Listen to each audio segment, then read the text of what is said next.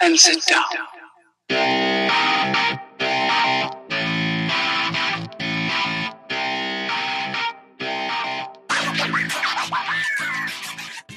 how we get so many colors on the face at once.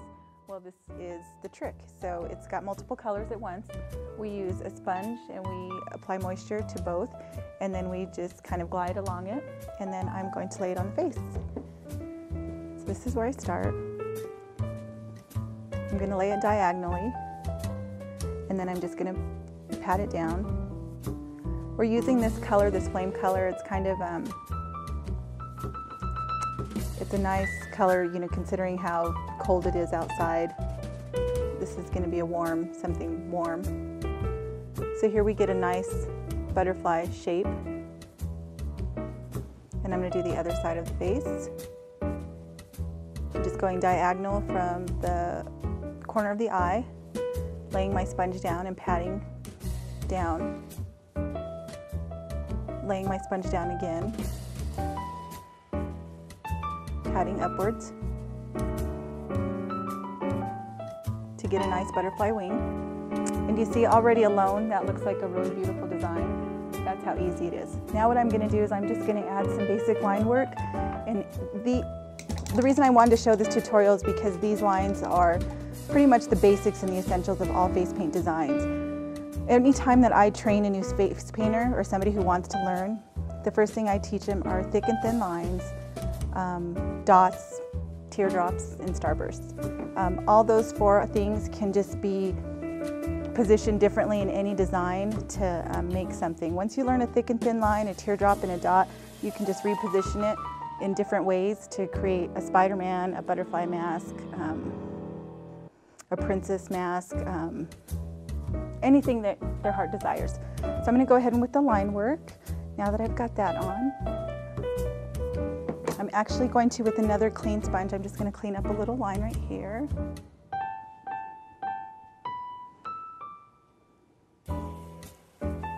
And again, this is just a synthetic sponge with water. I'm just using water and I'm using a black, this is a solid pot of paint. And I'm going to start with teardrops.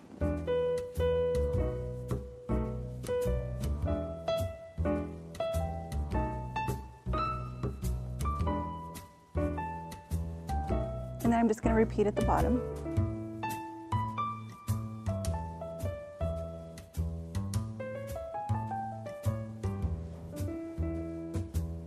Next, I'm going to do some thick and thin lines. I'm going to do the antennae.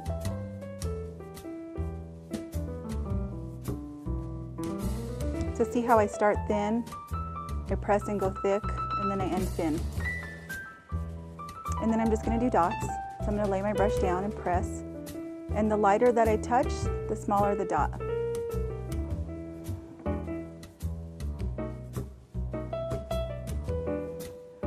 I'm going to do some round, thick and thin lines here.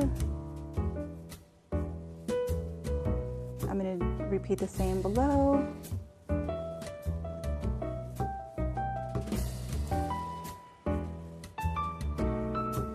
And if you notice what I do is this corner of the eye is kind of the focal point, so everything that I do kind of goes that direction. It's a very important part of face painting and making your designs um, impressive. And another good tip that you will find from the wonderful online tutorials. So I'm going to go ahead and connect this and this. I'm going to do the same down here, just to keep it uniform.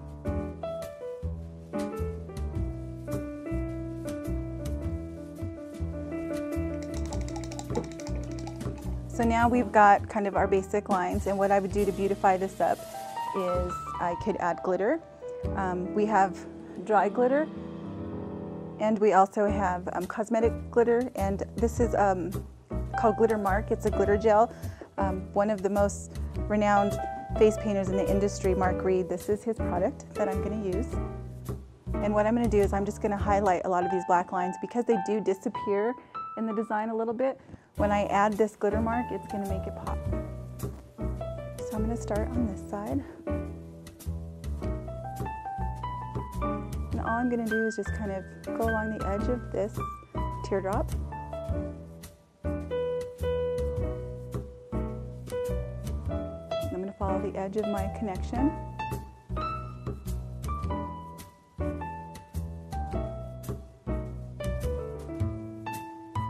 If you'll notice, the hardest thing about what we do is painting in the air, like a lot of makeup artists.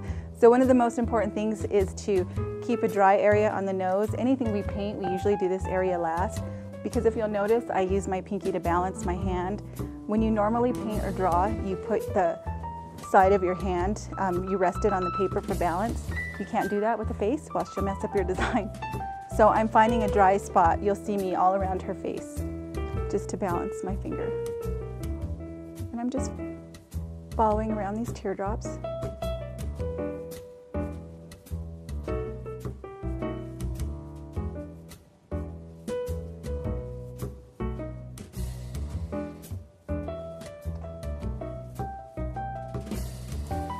You see?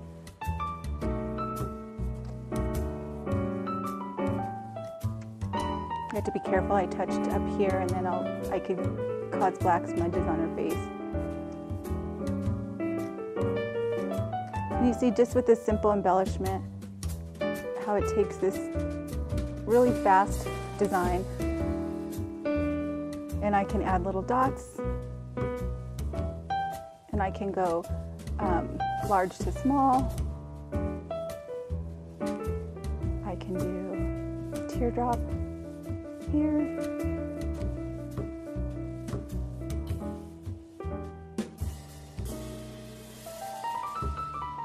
You can get as creative as you can, as you like. But again, you know, like in anything, in any composition, there's some basic elements. You know, you want your lines to start thin and and um, start and end thin. Um, you want to have a focal point. I'll tie in because there's nothing in here. I'll just use some small dots, and I'll go from large to small.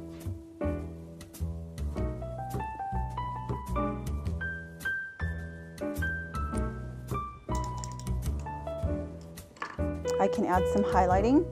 Um, this is an important trick. It's very nice because there's always going to be a photograph. It's always going to finish with a photograph. And one thing that I've learned is that if um, from another online favorite um, teacher, Beck Star, she has basics and she'll teach you how to do four different kinds of starbursts. And I always pass these on to all my friends. And so if you add these simple starbursts, when a photo is taken, it automatically gives an illusion of, of shine. They're just the smallest embellishments that can really set things apart.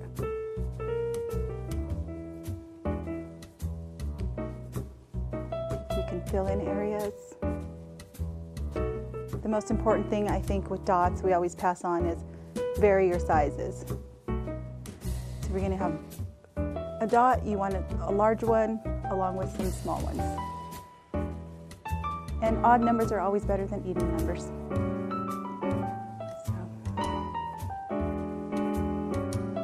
So just fill in some of this area.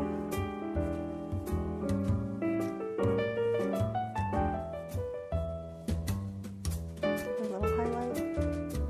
Anissa, open your eyes and look up.